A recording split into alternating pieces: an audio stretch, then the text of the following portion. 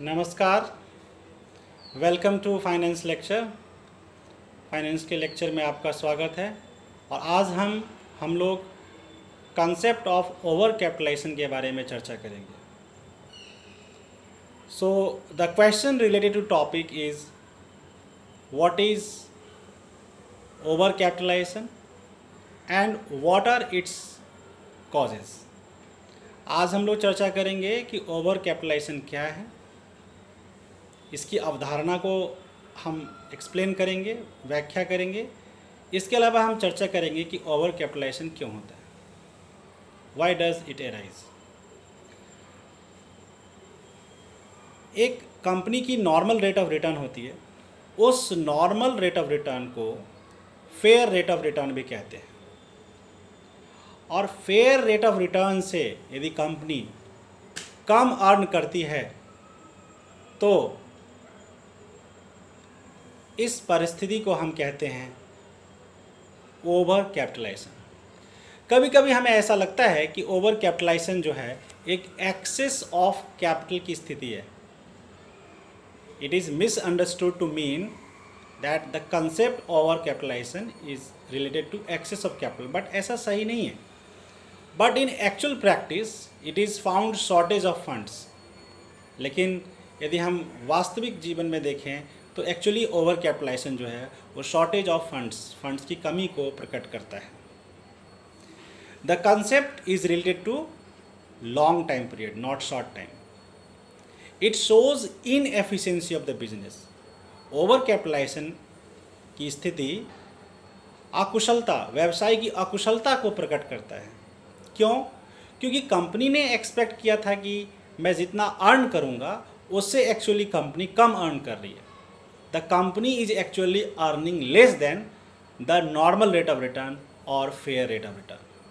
Therefore, we can say that overcapitalization refers to that state of affairs where a company earns less than what it what it should have earned at fair rate of return on the capital invested in it.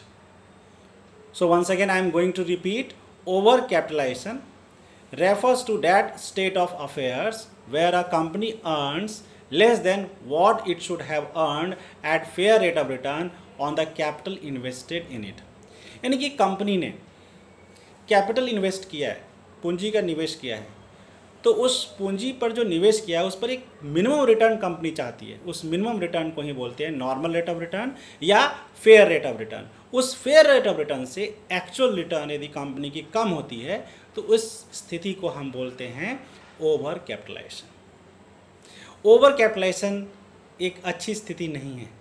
It is not a good situation for the company because company is earning less than what it expected it shows inefficiency अब हम चर्चा करते हैं कि what are the causes of over capitalization अब हम इस बात की चर्चा करेंगे कि ओवर कैपिटलाइजेशन के क्या कारण हैं।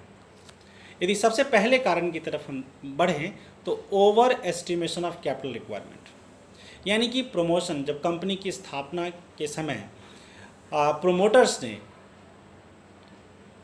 कैपिटल का एस्टिमेशन उन्होंने ज़्यादा कर दिया, यानी कि जो जितने कैपिटल की रिक्वायरमेंट है, उससे ज़्यादा उन्होंने एस्टिमेट कर दिया।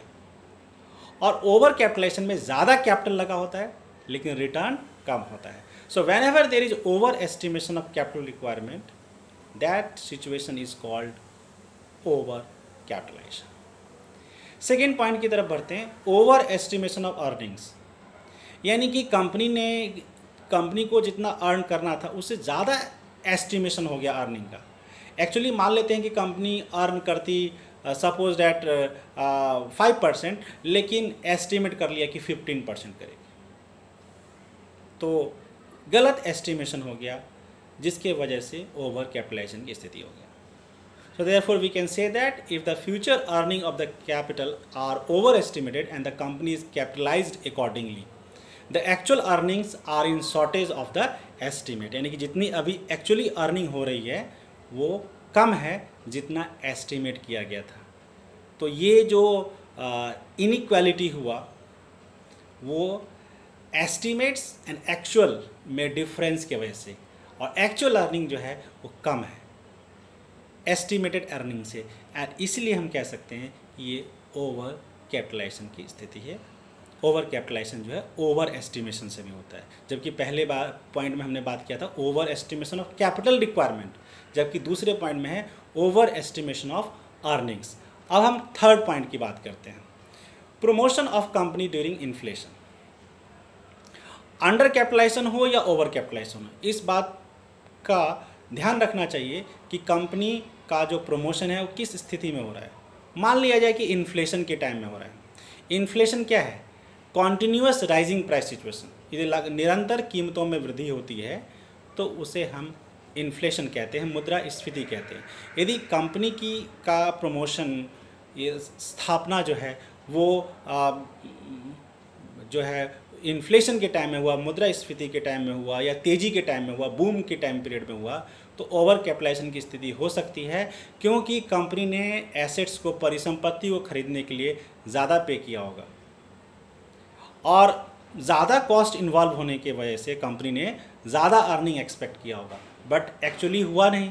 इन्फ्लेशन से अब जो है नॉर्मल सिचुएशन आ गया, या मान लीजिए डिफ्लेशन आ गया तो कंपनी की एक्चुअल अर्निंग हो गई कम, इसलिए यदि एक्चुअल अर्निंग कम हो जाती है एस्टिमेटेड अर्निंग से तो इस सिचुएशन को हम कहते हैं ओवर कैपिटलाइजेशन अब हम फोर्थ पॉइंट पर आते हैं। फोर्थ पॉइंट है लिबरल डिविडेंड पॉलिसी यदि किसी कंपनी ने डिविडेंड का रेट ज़्यादा डिक्लेयर किया, इसके बजाय कि वो री इन्वेस्ट नहीं किया, उसने डिविडेंड डिस्ट्रीब्यूट करने की बात की instead of ploughing back of part of their profits in the business तो इससे क्या होगा कि जब उन्होंने डिविडेंड डिस्ट्रीब्यूट कर दिया तो कंपनी के पास फंड कम बचा।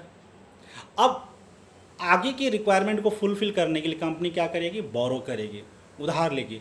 उधार लेकर लेगी हाइयर रेट ऑफ़ इंटरेस्ट पर सपोज़ डेट तो इससे क्या होगा कि कंपनी का जो अर्निंग है वो इंटरेस्ट पे करने में चला जाएगा और एक्चुअल अर्निंग कम हो जाएगा। तो फिर ये सिचुएशन जो हो गई एक्चुअल अर्निंग कम हो गई तो ये ओवर कैपिटलाइजेशन की स्थिति हो गई। यानी कि जब कभी भी लिबरल डिविडेंड पॉलिसी होगी तो ओवर कैपिटलाइजेशन की स्थिति बन सकती है।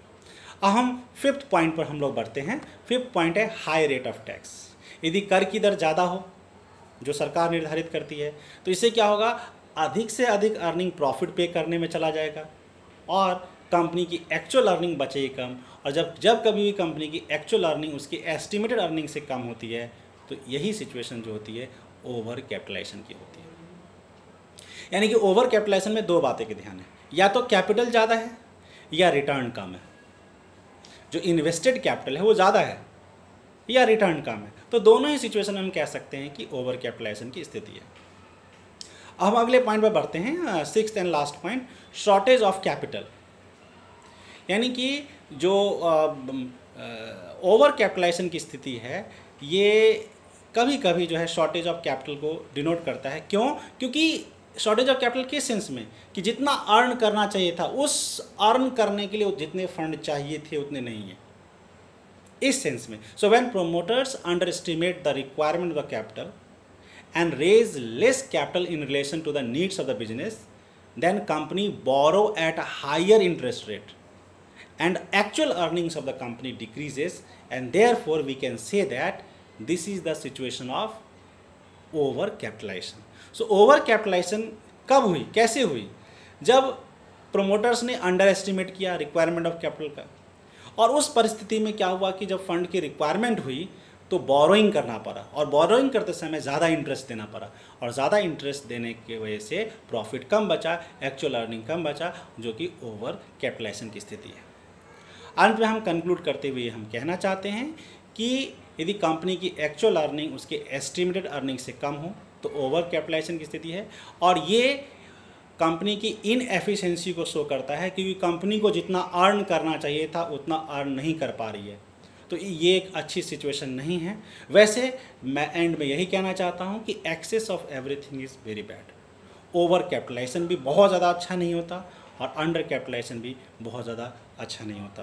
यानी कि ऑप्टिमम कैपिटलाइजेशन की बात करना चाहिए जो कि कंपनी के लिए फेवरेबल होता है। फेवरेबल होता है। Thank you thank you all of you